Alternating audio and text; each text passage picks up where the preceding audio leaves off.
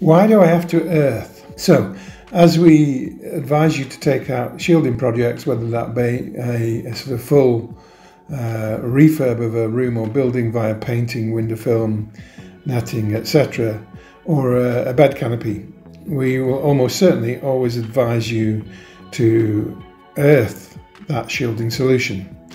Um, why is that? All right, well, let's take a bed canopy to start. So, uh, the effective bed canopies at the moment are all conductive. The older technology Swiss shield fabrics are not conductive, but they're really are somewhat lacking now to, to deal with, with the high frequency Wi-Fi and high frequency mobile networks that are becoming prevalent. So the, the effective, our effective product, the, our go-to product is, is Block Silver and that is um, is conductive. So what that means is, since you will be using it as a bed canopy, it will likely be probably within a fairly close distance to your walls in your bedroom. They will tend to almost always actually have uh, electric electrical wiring in them. Electrical wiring emit low frequency electro electromagnetic frequencies. They don't travel very far and they are not pulsed and the, so they're not of the same nature as the frequency you're trying to shield with your canopy, which would be perhaps your neighbour's Wi-Fi or a 3G, 4G, 4, 5G mast outside, you know, smart meter, whatever.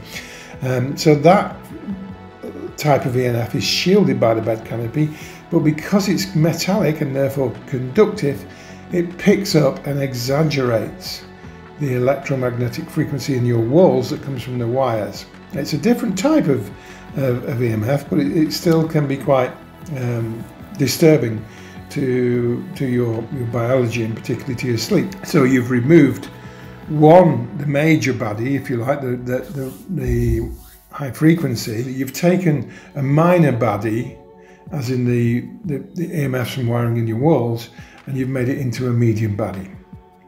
So we've, we've made a big leap forward in the high frequency, but we've increased the low frequency. Overall, we're still winning, but really what we're going to do is either decrease the low frequency back to how it was, but, but we don't want to just do that. What we want to do is take it out altogether. So with all our canopies, we would recommend that you purchase a uh, uh, an earthing kit as well. This attaches to the canopy uh, and then uh, and then is connected to your uh, electrical earth a radiator or, or, the actual electrical circuitry itself. So then you're on to a double a double whammy winner.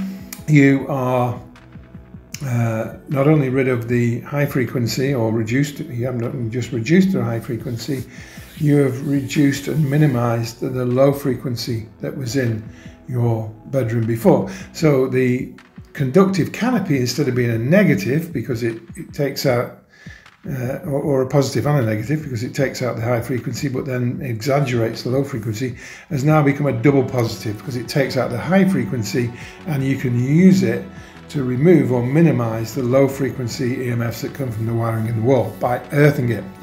What this can do if you are um, if you haven't dealt with dirty electricity in your environment, which is a, another video altogether, then connecting to the electrical earth will tend to pick up a different type, I know this is a bit complex, but a different type of EMF again, which is dirty electricity. Uh, as you connect the, the canopy to the earth and take out the low frequency from, from the canopy in your bedroom environment, because you've connected to the electrical system and your earth, although you're only connected to the earth, of course, not to the positive and negative, which will give you an electric shock, you're connected to the earth, but some of the dirty electricity will potentially jump onto that earth and then radiate back into the into the canopy. It's it's unlikely that this will happen, but if, if you've done the first two things, you've installed the canopy and you've earthed it correctly and you're still not feeling great, then the likelihood is that you haven't, or rather that you have earthed properly but picked up the dirty electricity in your electrical system. There are a number of ways you can deal with that, three ways actually.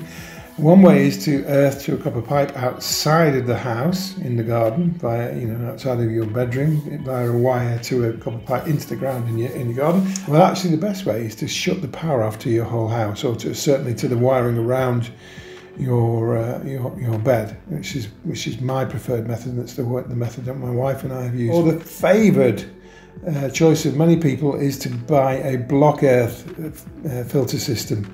Uh, they're about 170 pounds, I think. They're on the website.